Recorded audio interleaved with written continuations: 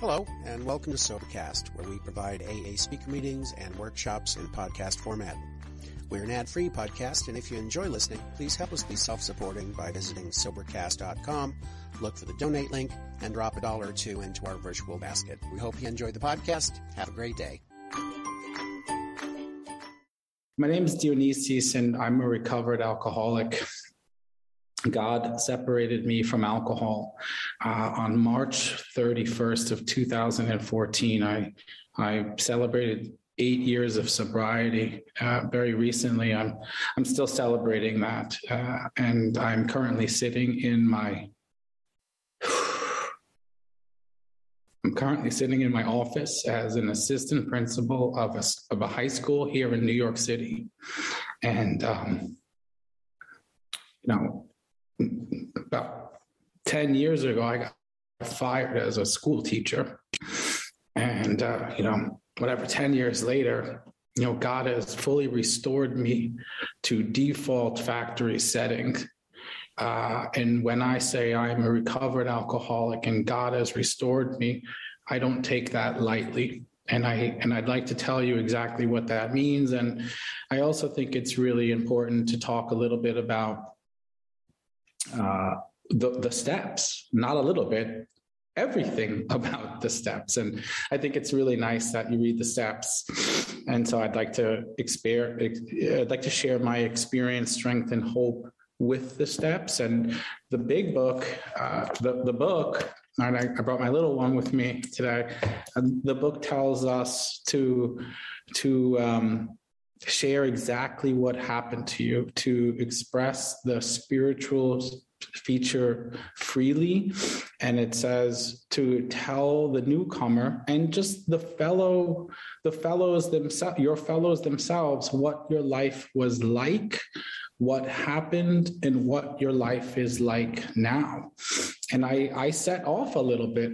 I set off my talk just in there because I'm, I'm sitting in my I'm sitting in my office. I'm sitting in my office, a successful man, a successful man of God, uh, a man who no longer is addicted to drugs and alcohol, a man who is no longer a prey to misery and depression, a man who no longer is useless to others, a man who no long who no long who no longer is dominated by his emotions I, I have been set free.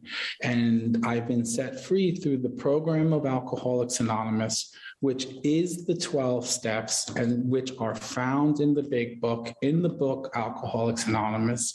And I experienced a, a spiritual awakening, and I continue to experience spiritual experiences as a result of the design for living that I was thrust into when I entered into Alcoholics Anonymous.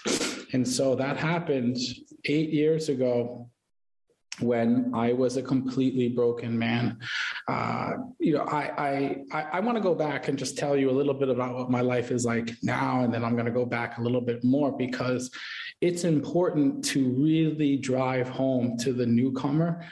If you don't believe me already, like I'm a fall down blackout, abusive, suicidal, homicidal drunk.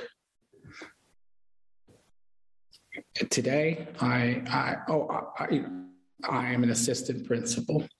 Today, I'm a homeowner. Today, I'm a, a, a, a, a decent son, a good brother, a, a great neighbor, a, a good friend, a good human being. And that was not the case Today, uh, you know, we should share these things. Today, I have money in the bank. Today, I don't have financial insecurities. I mean, these are part of the, the promises that our program offers us.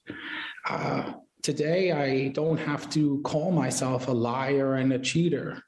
Today, I am healthy. I'm like physically healthy. Um, today, I have friends. Today, I have people who rely upon me. I have friends and family who rely upon me. I have professional colleagues who rely upon me. I have over 400 students who rely upon me.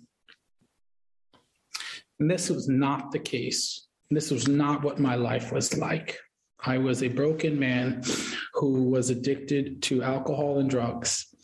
I was in uh, I was the toxic part of toxic relationships. I was a manipulator and an abuser.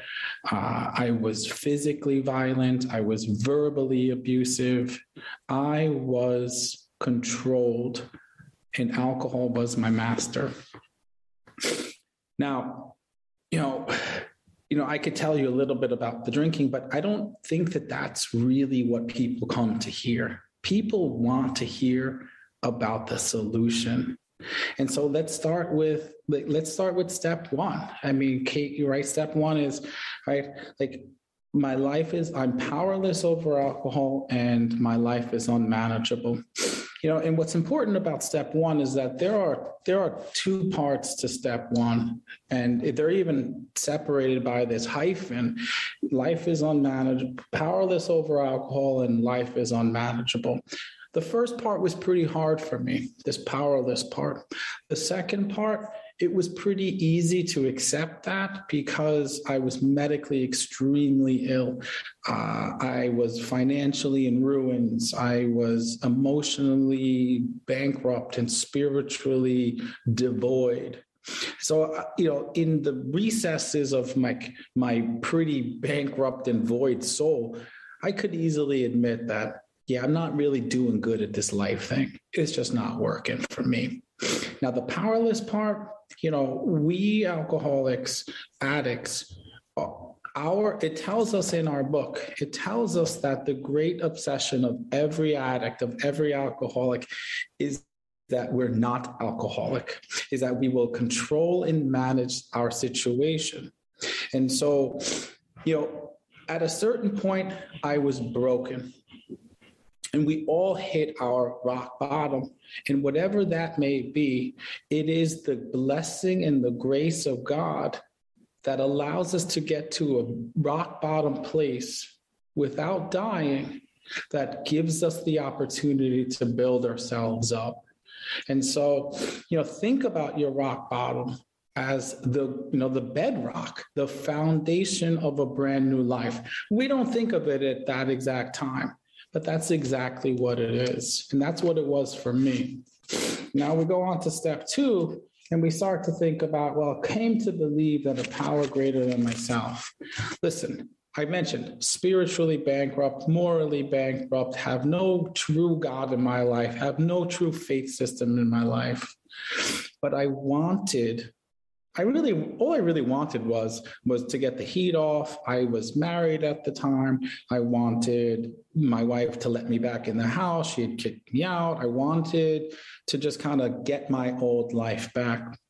And so I had been going to AA meetings, uh, you know, for a while. I had been going and showing up drunk and sitting in the corner and not talking to anybody and just kind of scoffing, right? Because it tells us we once came to scoff and then we eventually came, stayed, and prayed. But the more I would sit around and I would look and I would see people, right? Like the book says, fresh skinned and glowing guy shows up in a suit talking about how he he's an assistant principal and, and how he used to how he was a fire teacher who used to be drunk all the time. My ears pick up a little bit. They perk and they say what? Or somebody says like you know like i was an abusive man and like i would end up in psychiatric units and i like i ended up in jail. And like nobody like who would show up at a place and tell and divulge these types of secrets to to a group of strangers.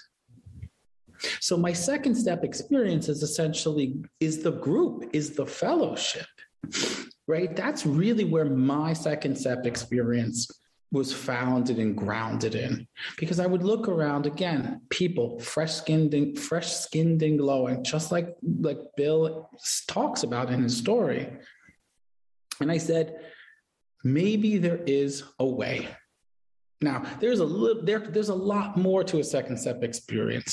I remember when I was actively going through the steps in step two, uh, which really there's not much, there is no action in step two. It's just this like feeling, it's just this idea idea. It's just an overwhelming sentiment. But I can remember being super, super depressed, super down, super scared, super like financially in dire straits, walking. And I remember being up on this hill or like this park. And I remember thinking, like, oh God, or universe, spirit, whatever it was that I was thinking it was at the time. I said, "Oh, if you're there, like blow, blow on my face, like put the wind on my face." I'm sitting on top of a hill of course i'm going to feel some sort of breeze but it was really a decision. And that decision to come to believe it leads us into our third step decision. And to our third step and this is where things get really serious in our program. By the way this can't be done alone. Now, originally it was done alone, right? We would print these books and we would send them out and people would read them and people would go through them. And so, you know, if you are really into the program and you're into the text and you're into the literature, you know, you could say, well, it can be done. And so I will agree with you, it can be done. But we're living in 2022 and we're surrounded by a fellowship of individuals who have had who have been who have been released from active addiction you might as well get somebody's help. And so it's really important to mention that somebody a sponsor guided me through the steps out of the book. Right? And so when i made this decision to turn my will and my life over to the care of god as i understood him it's essentially the beginning of a prayer life. You know, I, this is the broken elevator group. Like it's clearly about taking the steps, but the word broken is super important because we become broken humans. We're not working anymore. It's not going well. And so, you know, we get pushed to a place of being forced to try something new. And so prayer became a part of my life in the third step. And so I was sim- I was told very I was given very simple directions. I was not living in the house that I was I was living in. I was kicked out. I was sleeping at my mother's apartment. I was staying at my friend's apartment. I was sleeping on this air mattress at this place, at this sofa bed, at this other place. But in all of these different locations, I would get up in the morning and I would hit my knees and I would ask God to keep me away from a drink today. And I would tell God, whatever that God was at the time, because it wasn't a firm understanding of God, I would say, God, I'm going to check in with you throughout the day. And at the end of the day, I would hit my knees again and I would thank God for just one day sober. That was it. That was my third step. Now, there was another part of doing the third step as it's outlined in the book. I remember getting on my knee when I officially did it. I got on my knees, I held the hands of my sponsor, and it says, and you know, I, you know, forgive me if I'm not like exactly quoting, but it says like a, a feeling, an extreme feeling was felt at once I listen, someone's coming to clean my office. I'm going to mute and tell them that I'm not available. Hold on. So sorry. Um, anyway, oh my God, third step. Yeah. So, like, a feeling was felt at once. And here's something else I want to tell you about the third step. It tells us in the book that the wording was um, optional right because the, the the language that's in the text is really bill wilson's language and that's his third step and so part of the activity part of the lesson for me was to write my own third step know of course i, I use bill wilson's as a as a sample you know the art thou there are you know i was told like you know we don't really talk that way anymore like but the you know in one two and in three we're really getting right with God. That's what one, two, and three is all about. Those are the steps. It's getting right with God. And so, you know, I started to just uh, think about, write about what did I think God was? If I could create a God, what would that God be? And the word loving came up for me. Like that's what I wanted God to be. And so, you know, I, I also, getting back to what the text tells us, in that the wording was optional, that I wrote my own third step. It was very much similar, but it's the same third step that I say every single morning to this day. Right? It essentially says what we prayed at the beginning of this meeting. God, I'm not in control. You are. My way of doing things doesn't really work. Your way, your will is going to do better. It's been doing better day by day. And again, like I'm just going to try your way because my way does not work. Protect me, please.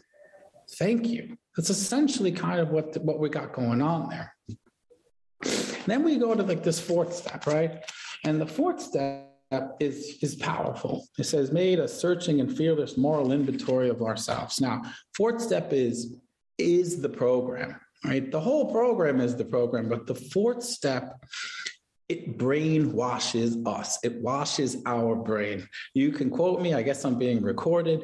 Our brains are dirty. They are ruined. They are not working well. When I was active and I would go to meetings, I would say, Oh, I don't need brainwashing and these Jesus freaks and this and that. No, actually, you do right?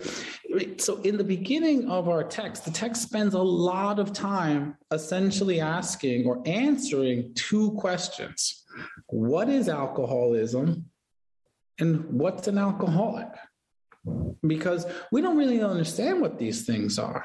And again, that, that leads us to this compulsion that we're not, this obsession that no, no, no, no, no, we're not. That's why step one is like, you've got to eliminate all doubts in your head that you can control and manage your own life. So, you know, for, step four is a rewiring of the way we think. It's probably there's probably some like neuroplasticity going on there. You're like, we could do a study. I don't really know, but let's get to what it says. And it's gut wrenching. But if you do it as outlined, and if you do it with someone who is who is going to do it with you uh, prayerfully and quickly and thoroughly. No time to waste. You will make a list of your resentments, institutions, places, ideas. You will make a list of your of your fears. You will make a list of your harms to others. You will make a list of your sexual harms. And then you will go through these lists, these people, institutions, and ideas. And then you will kind of ask yourself, what parts of the, my ego, of, of me, of my persona, was this effect? did this affect? Right? And then you're going to get to this place, then you're going to get to a place in what I call 4.4, well, not, I just call it 4.4, but it's really like the fourth part of each column where it asks you to look at your part. What part did you play? How did you get the ball rolling? Right? Where did you cause your own trouble? Because we become, we are the people on page 62. I'm selfish and self centered. That is the root of my problem. See, this program, the literature, the book, right? Not there's three parts, right? There is the unity, which is the reco- this is there's unity, which is the fellowship, right? Um, there is the there's the service, which is what we're doing here, what the what the servants do by putting this meeting together, the individuals who submit two bucks to Venmo, the people who greet you, the people who manage the, the chat, but really, the part of that triangle, gosh, I probably have it right here. Right? The bottom part of that is the recovery. And that is the 12 steps. And so, you know, when you get when you go through the process of resentments and fears and harms and sexual harms and you look closely and someone holds you to the fire and you write down what part did you play where are you to blame? We become, we start to become different.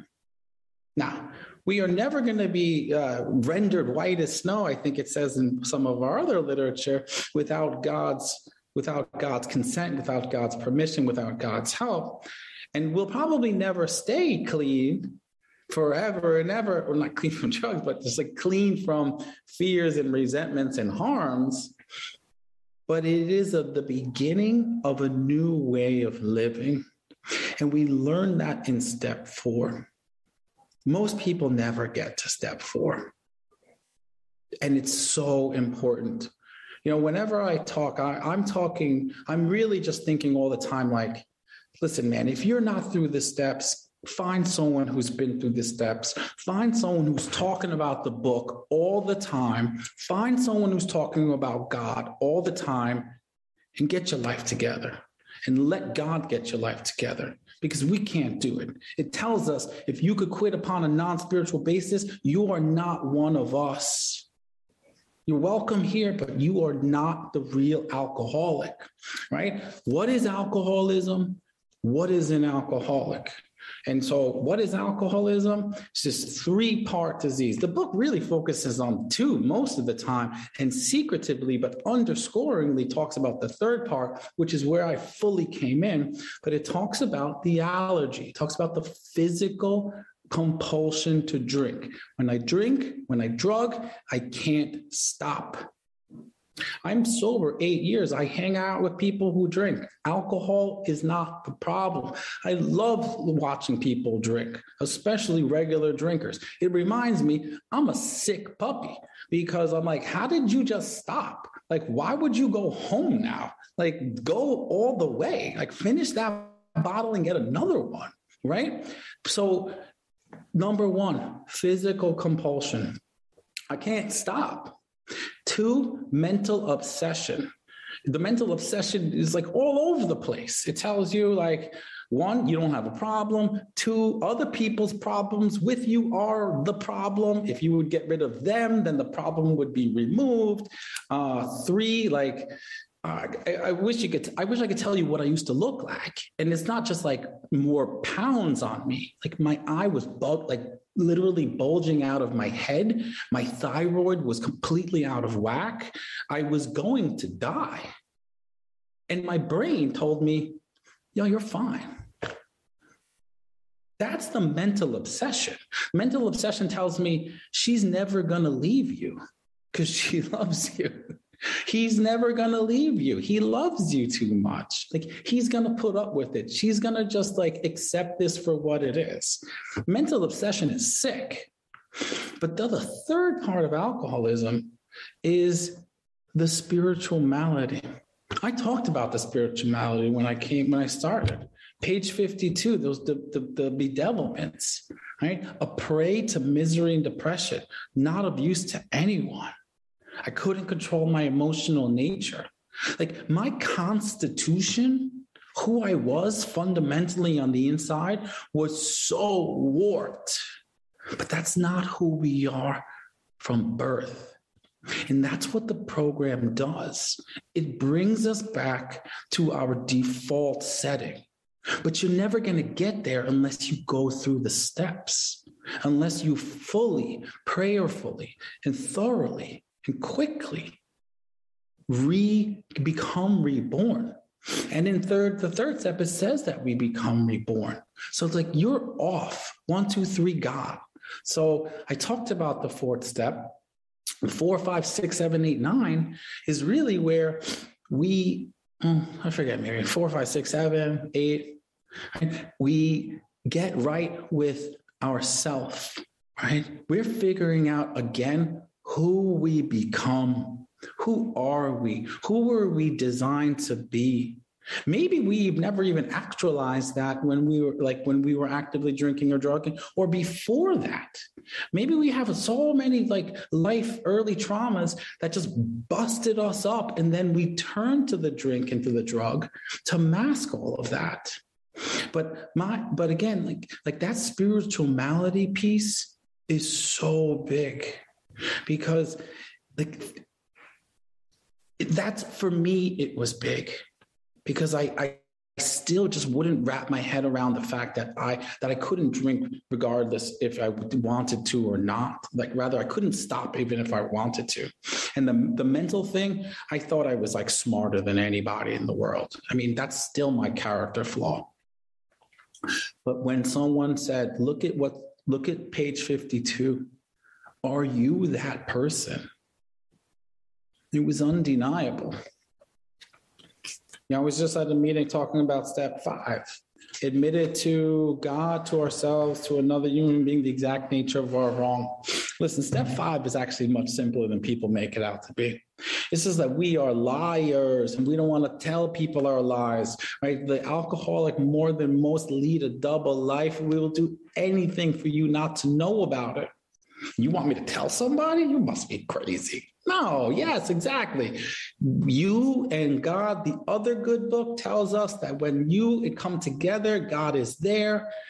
The point of the fifth step is to take a flashlight and to look at those at that work that you wrote down, that you put pen to paper and is to look at like all right so let's look at these resentments. All right let's look at your part in these resentments. All right talk to me about the fears.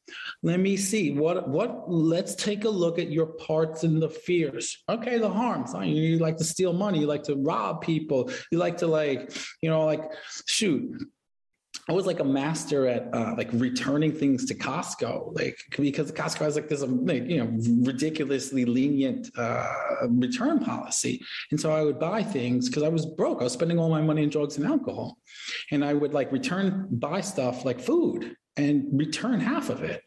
Right? Like this stealing. I was stealing. Like these are the things that I was doing. Um, so the fifth step is essentially running through that. And you might not know as the alcoholic, as the recovering individual, what's happening, but someone who has recovered should know that we're looking for patterns of your defects and your faults that add to your spiritual malady, that add to your discon- your restlessness, irritability, and discontentment with life. Again, spiritual malady. And it's essentially to walk away from this saying and feeling, right? You don't have to be that person again. That's step five. Right? You know, it's funny because like I still hear this a lot. I now identify with more than ever. I used to hear it earlier, like people pleasing. Listen, that's what like, that's what I do. I will do anything thing for people to like me to the point where people don't like me. It's a little weird. It's a little, it's a little complicated. You could talk all another 50 minute talk about that, but I will do anything for people to like me to the point where they don't like me. All right. That's my life. That is my cycle. That is my what I learned about myself in the fifth step. And then the sixth step, right? It says we're entirely ready to have God remove all these defects of character. Well, I just talked about these things. This is how I've been living my life for an extremely long time. How am I supposed to change that?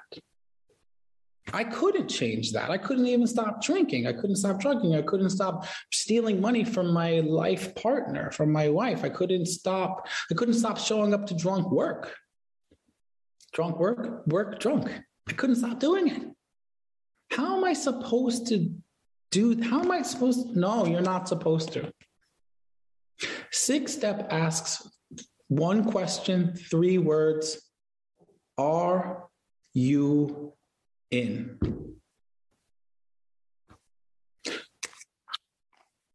Are you into this program? Because you've come pretty far, actually. You're kind of halfway in. Are you in? Because now we're going to rock and roll with God.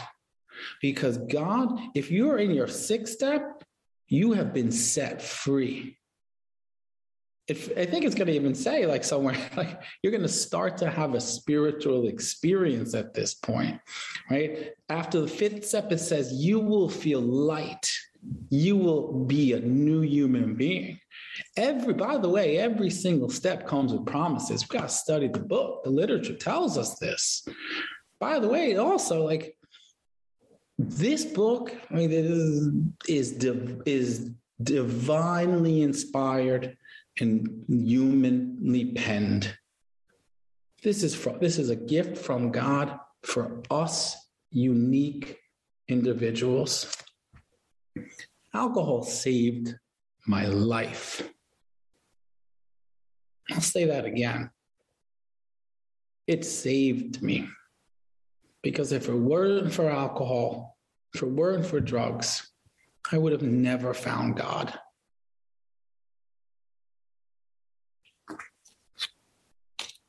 Number seven, humbly asked him to remove all our shortcomings. See, in our text, six and seven take up half of one page in two short paragraphs. I'm not going to make a mistake because, you know, I'm not going to tell you like, oh, page one to 23, 23 to 46, this and that. I'm not going to tell you about all this, but it spends tremendous amount of time telling you about alcoholism, about this, about this, about other parts of the program, of the steps. And then it gets to six and seven, and it gives you one page and it gives you two half of one page and two paragraphs. And look, I can only share, I, I freely given, freely shared.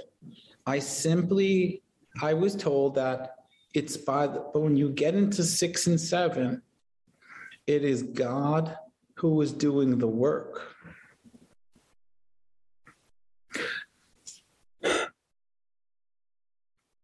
Prayer started in three, probably started in step zero, right?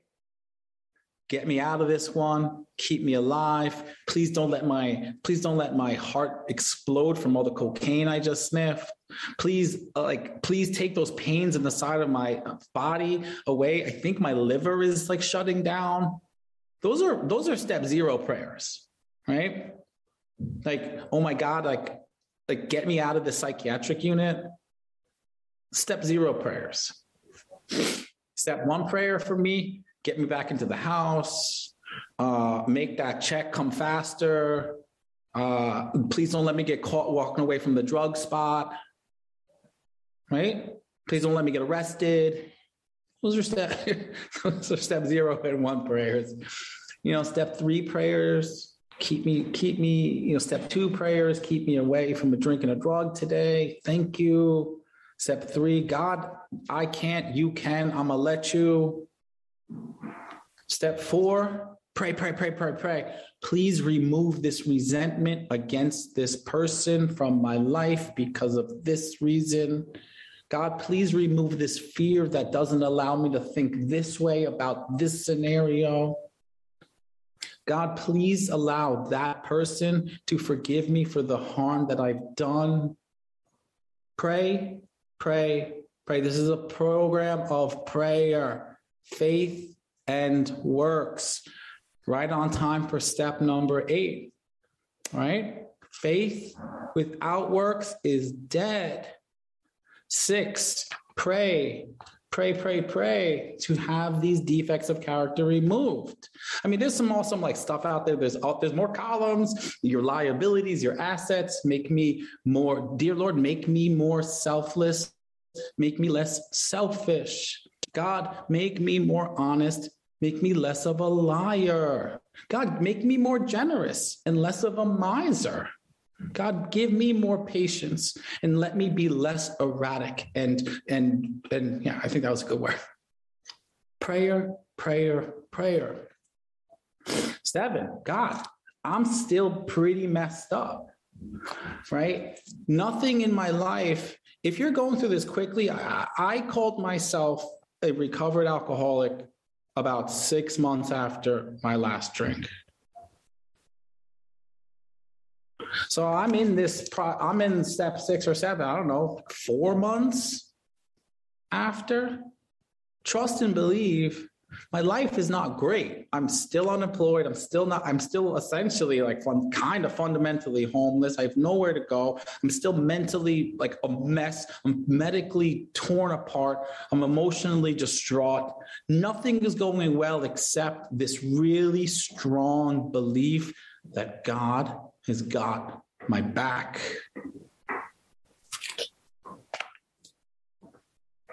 So I ask God, help me remove the remainder of my shortcomings.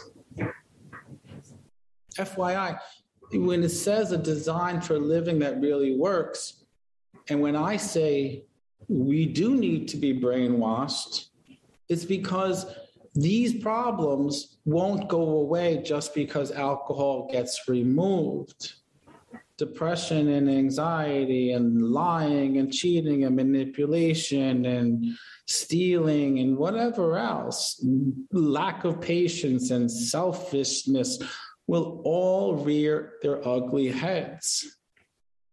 But we are being taught how to live a different way for the rest of our lives. Alcoholics Anonymous has nothing to do with alcohol and very little is very little to do with with recovery from actually alcohol right? Now that's a kind of a harsh statement. It's a, it's a loaded statement. It's about allowing god into the, your life so that you can live according to his will he says uh, you can be unblocked and be the person that you're designed to be. We definitely can't drink, but drinking is so like, you know, I don't know the numbers, but like, do, how many times does this book say God versus alcohol? It's very, it's astonishing, right? Number eight, made a list of all persons we had harmed and become willing to make amends to them. And again, it says, you know, faith without works is dead. that list is already done. We made it when we did our inventory. So you've got these, like, you know, you got these people, places, and institutions. Or, or ideas, forget the list, right? You've got this list. And number eight was kind of, for me, it was an a, a prioritization list. I've got these resentments and fears and harms, and I've got these individuals and I've got these institutions, and I need to make an amends. I need to make wrong. So I need to correct this harm. I need to be willing to make the amends. Brian, the word become willing and the word ask comes up so often in our program. You pray, dear Lord, dear God, you know, give me the strength to write this letter to this person who I stole from. Dear God, give me the courage to have a conversation with a person that I harmed.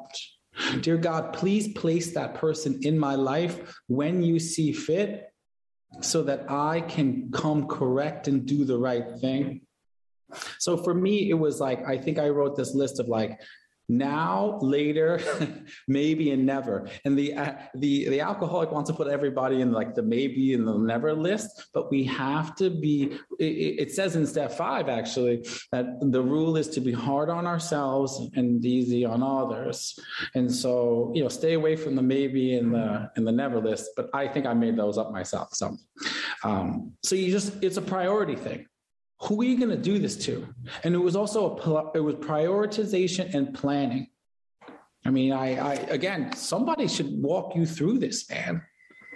And like I had these like index cards, or like I had this little planner thing that I created. Because by this time, like my brain is no longer foggy. I'm no longer jittery. I'm no longer in a daze. I like my brain is starting to work again. And I was like, when am I going to do this? How am I going to do this? What's the harm? What's the amends? Cleaning my side of the street, become willing. What's the prayer? When am I going to do this? Make the phone call, send the text, write the letter, make it happen. Faith without works is dead. And then we get to step number nine. You know, I could tell you so much about like my actual amends, uh, but I will tell you that most of them turn out bad because people, at least from my experience, they didn't want to talk to me anymore. They didn't want to hear from me anymore. They didn't want to hear the excuses. But but for all the bad ones, the ones that become glorious and show you how great the program of AA is, how great the, the process is, will make up for that.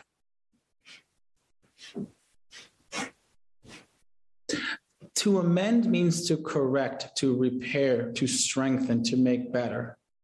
It tells us that, uh, you know, a, a, a, mumbling of the word I'm sorry is not sufficient. We probably said I'm sorry forever and ever and ever and ever and ever, right? It's like the most, you know, most commonly used words in the vocabulary. To amend is to apologize. To amend is to seek forgiveness. To amend is to never do again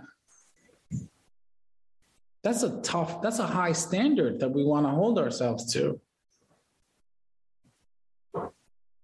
and that's an amends process and that will set you free. I, I do like I got seven minutes, 40 seconds left. I'm on step nine, about to step step 10. I want to tell you a quick story about uh I guess I'll, I'll just whatever when when, right? So I was I had this apartment and uh like essentially I was I had rented out this room to this person and uh, I was overcharging this person. And then I eventually like moved out of the apartment, but I kept the apartment and I, I said, you can take the whole apartment and I overcharged her even more. And I moved somewhere else and I was making money on the apartment and I was using the money for what?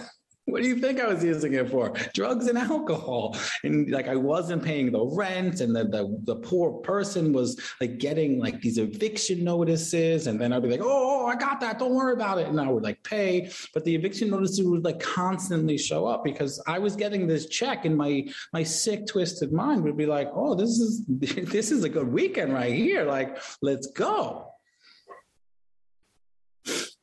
Eventually, this person was fed up you know, totally harmed and traumatized, moved out. Of course, I got a resentment against this person for moving out, not giving me money anymore, right? Um, you know, I keep her security deposit because I'm like, oh, how dare you like leave? Like, oh, you didn't give me 30 days notice. I swear, I tell you no lies.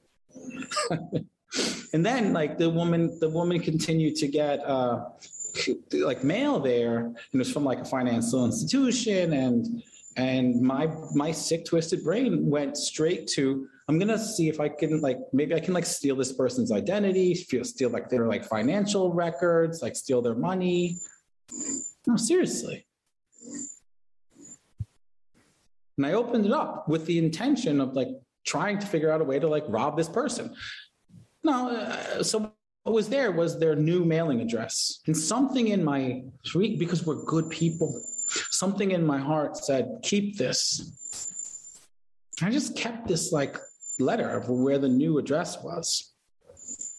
And when it came to times for amends, I reached out to this person, email. Again, I don't want anything to do with you. I tried to understand your behavior. It was un- couldn't understand it. I want, you know, I want this to be set. I don't want anything to do with you. I said, okay. I wrote the check I put the check in an envelope and I mailed it to that address that I found on that letter, which I initially thought I was going to like steal her financial life. Nothing, heard nothing, right? Didn't even remember about it until one day I get an email. And I got an email from that person who was living back, who had moved back to Taiwan. This person, by the way, was in New York and seminary school, learn training to be a pastor. But this is where God, this is how good, good God is.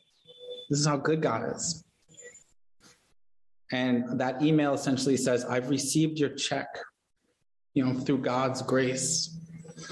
And uh, essentially, you know, like I explained to her what happened, why I was doing it, like what the book tells me to do. This is what happened to me. This is why I'm doing this. This is why I'm seeking your forgiveness and your amends. And I sent that check to like, you know, an address in Manhattan, New York City, and it ended up in Taiwan. And that woman became a, a friend That woman be sent me a Christmas card that year. Like I repaired that damage. But just think about how that check ended up in Taiwan, man.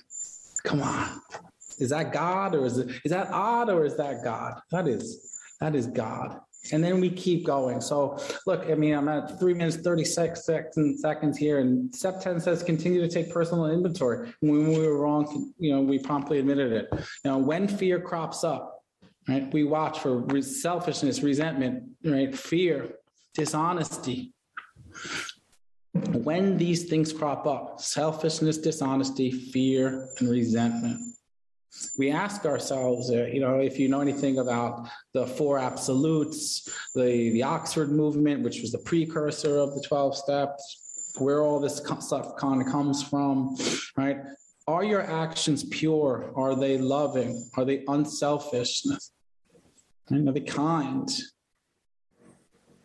It's really hard, but it's like this is where we have to live. We live in this place of I've got to hold myself to this high esteem because I am living according to God's will.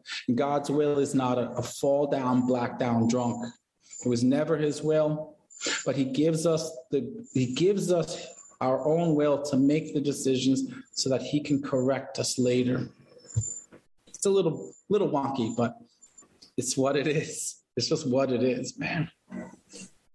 And so that's step 10. And it's like you're just constantly thinking about everything that you've done. Step 10 is essentially running through four, four through nine over and over and over on a daily basis because you don't want to ever get to a place where you're so um, kind of compacted with your fears and your resentments and your harms that you become blocked off from the sunlight of the spirit. And at that point, you drink and you drug. And step 11 says to us, and what is it saying? What does it say? It says, continue, no, sorry, sought through prayer and meditation to improve our conscious contact with God as we understood Him, praying only for knowledge of His will and the power to carry that out. Know, this is powerful stuff. You know, if you just hang out in this book, great. If you, if it's like it says, like seek other spiritual help from your rabbi, your pastor, your minister, there are other helpful books as well, even better. Seek your spiritual path. Seek to grow, enlighten and grow your spiritual world. Right? It tells us over and over. By the way, there's tons of promises, right? But there's lots of premonitions. He goes, he failed to enlarge his spiritual life. Does that ring a bell? He failed to enlarge his spiritual life. And he was drunk and dead. You know, we are blessed human beings. Blessed. We've got to stay in the sunlight of the Spirit. We will fall. I fall. I fall daily. I fall daily. But I stay there. I stay in the place of trying to figure out what is God's will for me? Who does God want Deonisis to be? And am I meet, am I am I attempting, am I meeting that mark? That's where I've got to be. And in step 12, it tells us to give this away. So I don't know if I could put my number in the chat at this point. Oh, I just did. I think I think I went to the group. Yum. I, I am not I, I you know I mean I'm an educator. I spent like two years on the internet like doing Zoom all over the place. So like but I've actually never uh, sponsored anyone on Zoom. It's not my preference but I but I'm putting it out there that I'm willing to help for fun and for free. Uh, and you know it tells us that you know the best way to the, you know what the best defense uh, grants us immunity from drinking is service to others especially alcoholics. But it's service to others and this is why i'm like super blessed. A a fall down blackout got fired school teacher who became an assistant principal and i'm sure god is going to make me a principal soon. Because god's got plans for us. And the the drinking and the drugging the way that we did it was not the plan. It'd be great if uh, it'd be great if we could drink normally, right? That'd be great. I can't. You know, I mean, I'll, you know, jokingly, like if I could stay at a three drink buzz like my whole life, that's where I'd stay, man. You kidding me? But I can't, so I don't. And so that's that's the message, man. With 45 seconds left, it's it's the same message as Dr. Bob, right? It's like trust God, clean house, help others. Find someone who is talking about the book, the the book, the steps, in God, because that is the program of Alcoholics Anonymous. And don't water it down. Share, express, and share the spiritual feature freely. Tell people exactly what happened to you. And that's exactly what this book says. It says, This is how people found, sought, found, and formed their own relationship with God. It doesn't say how people stop drinking. All right. Love you guys.